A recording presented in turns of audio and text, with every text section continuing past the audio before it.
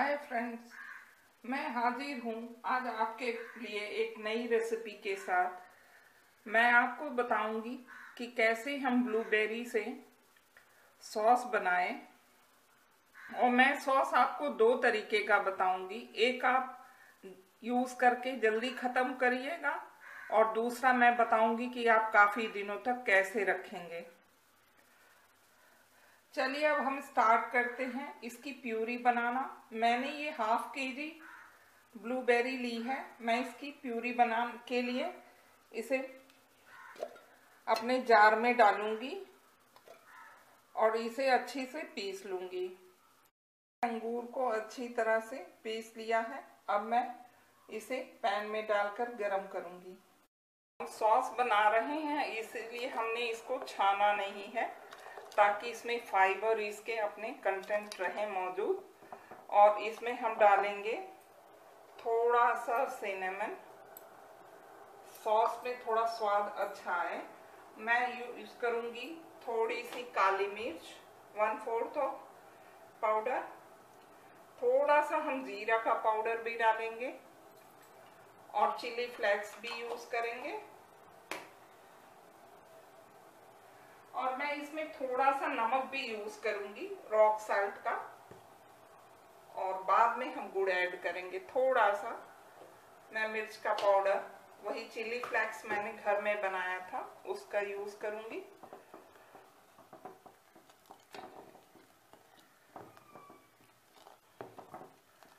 और इसे हमें स्टर करते रहना है।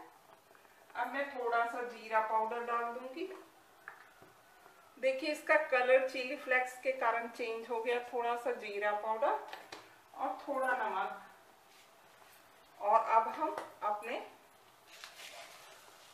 अंगूर के सिरप को पकने देंगे। ये सॉस आप अपने ग्रीन अंगूर से भी बना सकते हैं। मैं आपको सॉस का दो तरीका बताऊँगी। जब ये सॉस तैयार हो जाएगा, उसके बाद दो चम्मच जागरी का यूज़ करेंगे। पाउडर मैंने जागरी यूज़ की है। आप चाहें तो चीनी भी यूज़ कर सकते हैं।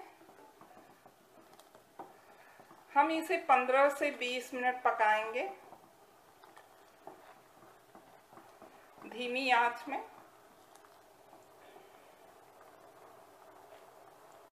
सॉस तैयार हो चुका है। देखिए। अब मैं ऐड करूँगी इसमें पिंच ऑफ़ टाट्रिक एसिड या सिट्रिक एसिड आप कुछ भी डाल दीजिए। और या नींबू भी ऐड कर सकते हैं आप। अब मैं इसे निकाल लूँगी। सॉस का हाफ़ पोर्शन मैंने ये निकाल लिया है और आपको बताया था कि हाफ़ पोर्शन में मैं बताऊँगी क्या अपनाया जाए। ये देखिए मैंने कॉर्न स्टार्च सेलरी डाला है।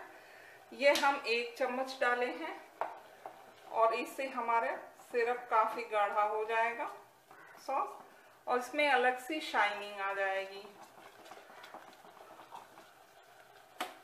देखिए, ये सिरप हमारा तैयार हो गया। एक ये सॉस है और दूसरा वो। काफ़ी थिक हो गया है, पर इस सॉस को आप ज़्यादा दिन नहीं रख सकेंगे। और इस सॉस में अगर आप सोडियम बेंजोएट मिला देंगे और पोटेशियम मेटाबाइसल्फेट तो ये आप सात से आठ महीने रख सकेंगे।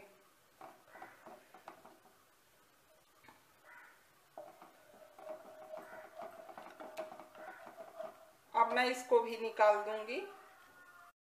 लाइए, मैं इस सॉस में मिला दे रही हूँ सोडियम बेंजोएट और पोटेशियम मेटाबाई सल्फेट, इसे हम अच्छी तरह से मिला देंगे और ठंडा करके जार में रख देंगे।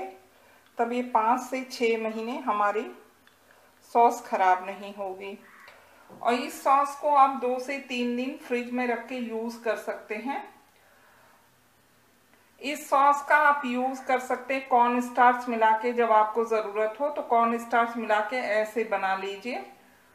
और आप अपनी किसी भी रेसिपी में यूज़ कर सकते हैं। एक मैंने देखिए इसका जैम बनाया है। जैम का कलर बहुत डार्क है क्योंकि इसमें मैंने जागरी का यूज़ अधिक किया था।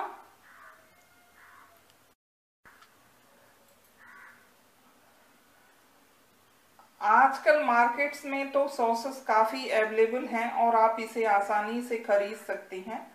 पर हेल्थ को ध्यान में रखते हुए अगर आप फ्रूट के सॉस खुद बनाएँगी और अपने बच्चों को फ्रूट्स खिलाने की आदत डालेंगी, अगर आपका बच्चा फ्रूट ना खाता हो तो आप इस तरह के सॉस बनाकर रखिए। और पास्ते में या बाकी चीज़ जैसे हैं, ब्रेड्स हैं, इनमें यूज़ करके बच्चों को दीजिए। एक जैम की रेसिपी भी मैंने दी है। आप खुद घर में जैम बनाइए। क्योंकि आजकल मार्केट में तो हर जैम फ्रूट्स जूसेस सब अवेलेबल है, पर वो उतने हेल्दी नहीं होते मैंने अपनी रेसिपी को अक्सर हेल्थ को ध्यान में रखते हुए आपको बताने की कोशिश की है अगर उसमें कोई कमी रहे तो आप ज़रूर मुझे कमेंट कीजिएगा, ताकि मैं और अच्छा बनाने की कोशिश करूँ। मैंने आपको दो तरीके से सॉस बनाना बता दिया। अगर आपको हमारे अंगूर के सॉस बनाने की रेसिपी पसंद आई हो तो प्लीज़ मेरे वीडियो को लाइक कीजिएगा, मेरे चैनल को सब्सक्राइब कीजिएगा। नेक्स्ट रेसिपी के साथ फिर आऊँगी। Thank you.